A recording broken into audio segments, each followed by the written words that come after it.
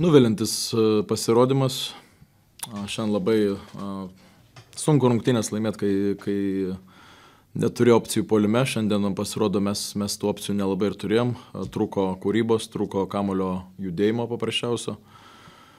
Aš visą laiką stengiuosi sakyti, kad kai yra tas kamulio judesys, mes, mes turim tikrai viską. Ir kiekvienas žaidėjas yra žymiai geresnis, bet šiandien to, to judesio trūko ir dažnai veržėmės į, į paprasčiausiai žaidėjų krūvą, nenusimetėm kamolių ir Ir, ir tiek, tai ne mūsų skaičiai 23 taškų namuose išsimes, tai tiesiog ne, nejudinom kamulio ir o po gynyboj. Šiaip du kėlinius visai neblogai dirbom, išskyrus backdoorus, o lemų momentų nesustabdėm aišku laksos ir, ir taip pat labai ta selekcija, pražangų selekcija buvo neteisinga. Ir kai gynėmės jų paustą, kai reikėjo nepadarėm ir kai jau lyg tai apsiginam, lyg tai jau, jau perimam tą, tą e, savo rungtinių kontrolę, bet e, tokią pražangą pigę padarom, likus pusiai sekundės. Nu ir e, privedė viskas prie to, varžovai gavo tą pasitikėjimą ir, ir, ir mus nubaudė. Turim išmokti tokias rungtynės žaisti. Ir, ir kai, kai mums neina polime, turim išmokti būti šaltesnio proto gynyboje. Atrodo ir varžovai tą tokį žaidimą įklampino jūs toks gan lėtas, kur neįprastas e, Jonovai šiuo atveju. Jo, turėjau gal pradėti e, sveikinimą Jonovai, tikrai e, pelnytą pergalę ir jie įklampina savo kiekvieną realiai varžovą, nes tikrai gynybiniai skaičiai labai geri pas juos yra. Ir nors, nors rotacijos didelės neturi, bet išsaugojo savo žaidėjus be pražangų ir ir e, labai teisingai sustovėjo. Galbūt po to pirmadienio pralaimėjimo kėdainiams tokios sunkios treniruotės gal buvo, kad žaidėjai pasimokytų, nes šiandieną tokie ganėtinai sunkus lėti atrodė, bent jau iš šalies. Nemanau, kad mes treniruotėse persitreniruojam ar, ar, ar, ar kažkada tą darėm. To nedarėm nei pirmais, nei antrais metais, to nedarėm ir šiemet. Ar mes pralošim ar ką, nu tai mes nepralošėm po vieną, mes pralošėm visi kartu. Čia aš, aš irgi neišimtis ir sakau, mes, mes pralošėm rungtynės kartu, bet ir laimėsim kartu. Ir čia kažkokių drastiškų sprendimų, kad daryti po 2-3 valandas treniruotės tikrai to, to nedarom ir nedarysim.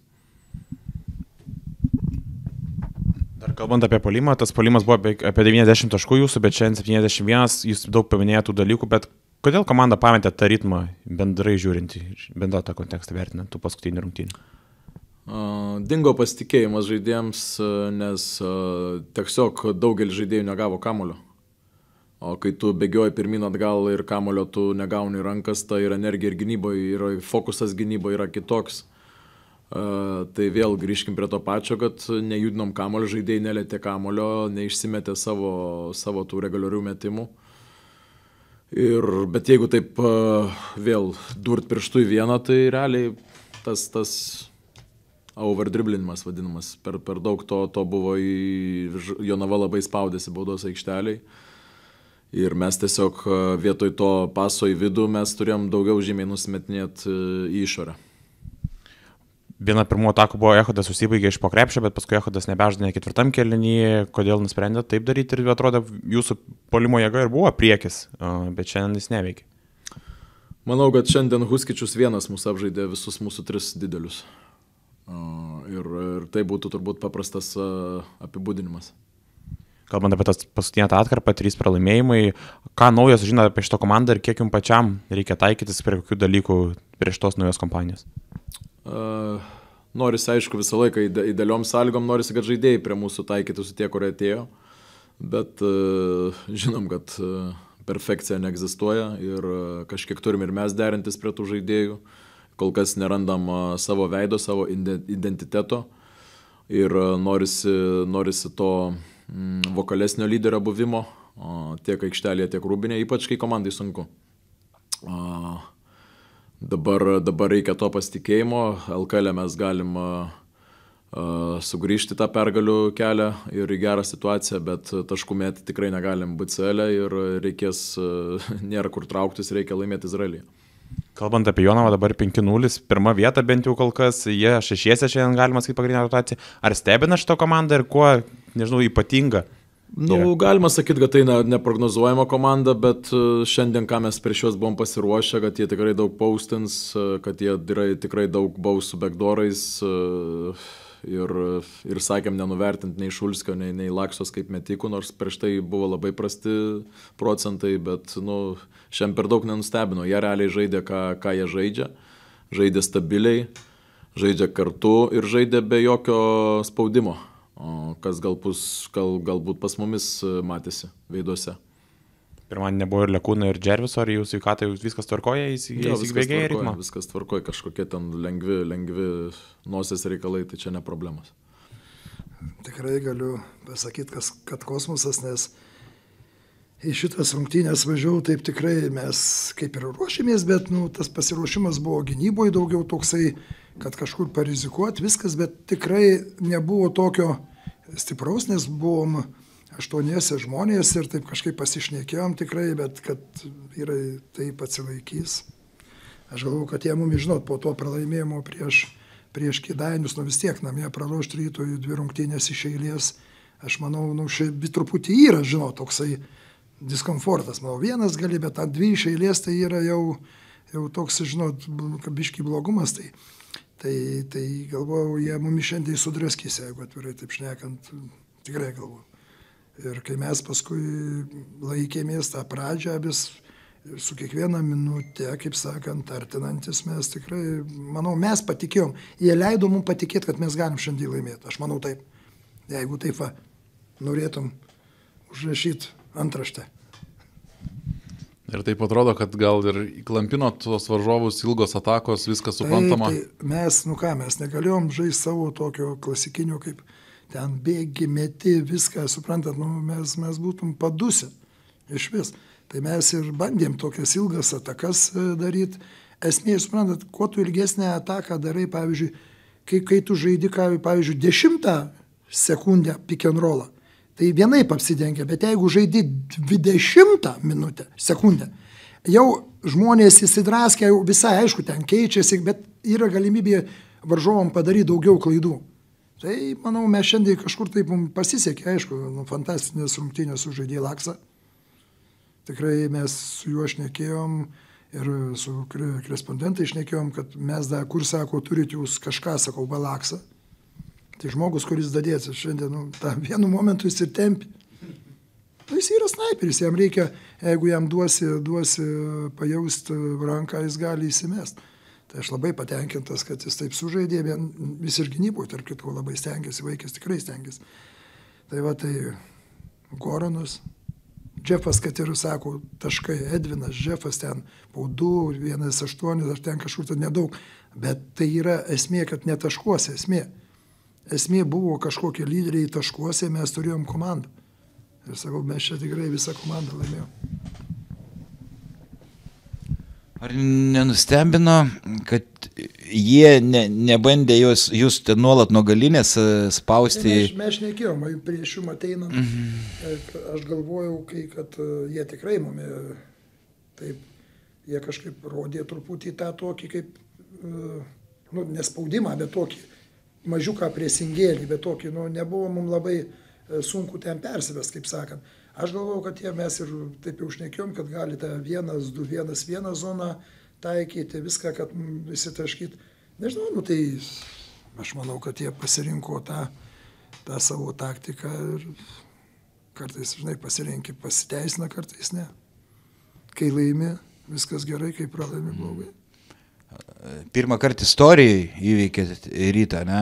Sakė, tikrai ne pirmą kartą. Vai, vai, ne, Jonava, Jonava pirmą Jonava, kartą. Jo.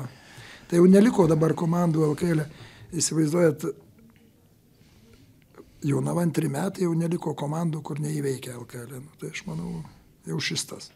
O stiprinsitės, nu, vien, amerikietis vienas pabėgo, ar, ar ir taip geri esat ir neberiai? Ne, stiprinsimės tikrai. Ta prasme, ką reiškia stiprinsimės, ta komanda stipri 5-5, kur tu dar nori stiprintis, tik čia. Bet esmė netame mes prasideda, prasideda kovos KMT, mes paprasčiausiai net laikysim. Tai čia šimta procentų. Tai mums, man atrodo, mes pirmąjį gal turėsim vaikį kokį tokį jaunesnį, vieną, ta prasme, ką reiškia jaunesnį, ten tokį, gal, sakau, kaip sakau, tokį padėję pirmoji pozicijoje ir būtinai mums reikia kombo. Aš manau, kitose pozicijose tikrai, aišku, šiandien valykai truputį skaudėjo tą koją, bet manau, mes susi, susitvarkom. Goranas, kai reikėjo sumetė baudas, tikrai solidžiai, solidžiai. Ryto vadovai nepasiūlė sugrįžti e, atgal. Man, kad ne tie vadovai. nu ką, vyrai, gerai, Kaip švesit pergalę? švesim, švesim, ką, pirmadienį treniruotė nešvesim. Pirmadienį reikia važiuoti į Delfį, kiek žinau, pasišnekėti, paskui vėl nu, tokie kokie šventimai. Treneri, mes jau kalbėjom biškai prieš kamerą, prieš įrašą.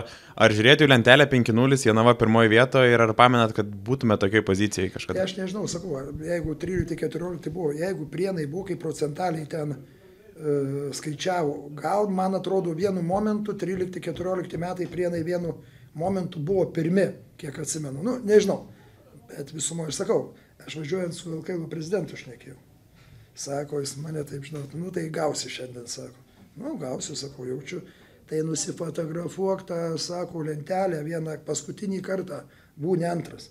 Ir jis po to sako, neduok dievę laimėsi šiandien, žalgeris nežaidžia, tai pirmoji nelaimė LKL. tai va, tikėjimai prezidentui, nustebinsime į dar kartą, kur kitur tik tai. Kalbant apskritai, Jonavas toks nu, vienas tų mažiausių biudžetų ir pirma vieta bendra, ve- vertina bendram kontekste. Kokią didžią rezultatą šitam mie, miesteliui, miestui? Ne, nu suprantat, tas krepšinis yra toks, žiūrėkit, aš visiems sakiau, pirmos rungtynės prienos. Po pratesimo mes tikrai galėjom pralaimėti. Laukiam kėdainių su nerimu, nes jie tikrai žaidžia tokį normalų krepšinį, tokį greitą metą, aplaušė Juventusą, mes tikrai su nerimu ir tikrai ten visko galėjo būti. Nu, gerai, skaitykim, kad tas turėjom pasimti. Atvažiuoja vilkai. Nu jau galvoju, tikrai ten reikia saliginai paimti, susikaut, kad visi sakytų, vyrai, ačiū, kad ir pralaimėjo, bet ačiū. Na ne? Važiuojam į pasvalį. Tikrai šiais metais pasvalio komanda yra labai maloni. Labai maloni, jeigu jie dar ten, aš manau, turėtų centriuką tokį, tokį stipresnį, perimetras geras, tikrai laimėjom paskutiniam sekundėm. Atvažiuojam čia. Nu, Jau atrodo, turėtų nutraukta pergalė. Dabar labai keistai, kas nors parašys, kasgi nutrauks Jonavo žygį.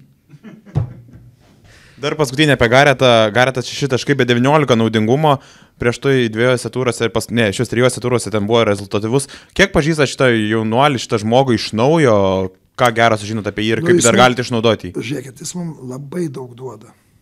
Tik tai, sakau, mes ir šiais metais mes, aš matau, vat, kur yra mūsų spragos, kad mes nedadirbė, mes vėlai susirinkom, saliginai visą komandą, saliginai trūksta dar to, kad parodyti žmonėms, aš kartais pabraižau tą derinį kažkokį, nu, aš, ma- nėra jie ten kažkokį, žinot, nu, nesupyks, kad žaidėjai kažkokį labai jau tokį protingi, kad vis tiek reikia, reikia tuose treniruotėse tokius dalykus atidirbti iki.